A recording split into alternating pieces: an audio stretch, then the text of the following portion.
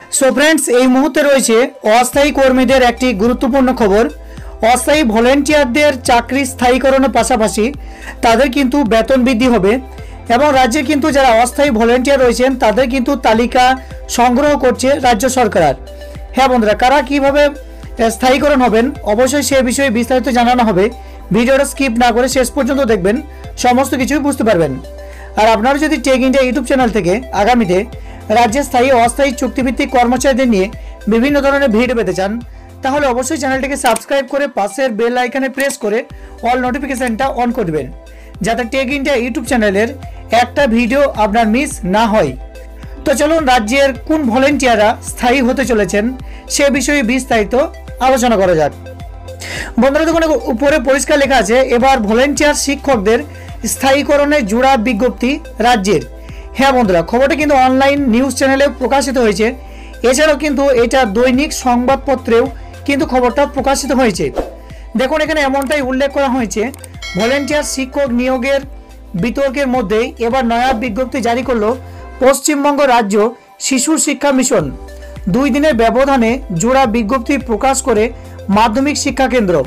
MSK volunteer শিক্ষকদের স্থায়ীকরণের বিষয়ে বিজ্ঞপ্তি দেওয়া হয়েছে।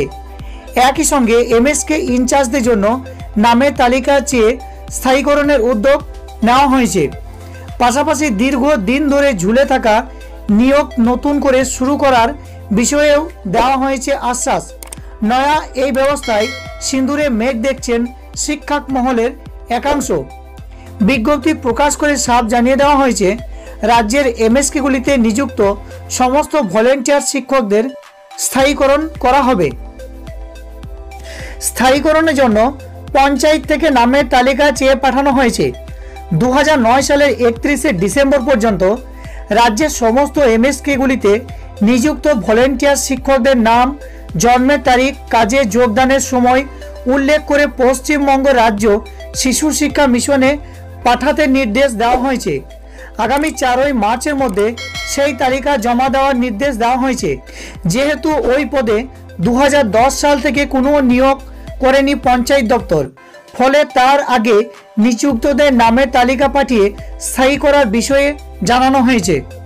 হ্যাঁ বন্ধুরা, রাজ্যের যে এমএসকে রয়েছে, অর্থাৎ মাধ্যমিক শিক্ষা কেন্দ্র, সেখানে যারা ভলেন্টিয়ার শিক্ষক রয়েছেন, তাদের কিন্তু এবার স্থায়ীকরণ হতে চলেছে। সঙ্গে কিন্তু তাদের বেতন বৃদ্ধি হবে।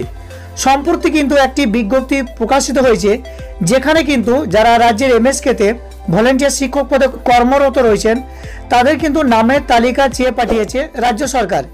এবং আগামী চারই মার্চের মধ্যে কিন্তু সেই তালিকা জমা দেওয়ারও নির্দেশ দেওয়া হয়েছে।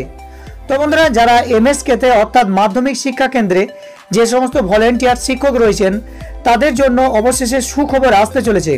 কারণ তাদের চাকরি এবার স্থায়ী হতে চলেছে, সঙ্গে কিন্তু তাদের অনেকটাই বেতন বৃদ্ধিও হয়ে যাবে।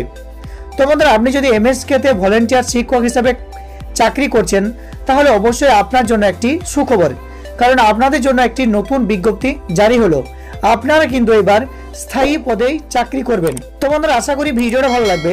যদি ভিডিওটা ভালো লাগে, অবশ্যই ভিডিওর নিচে একটা লাইক করে, ভিডিওটা রাজ্যের সরকারি কর্মচারীদের মধ্যে শেয়ার করে সকলকে এই বিষয়ে অবগত করবেন।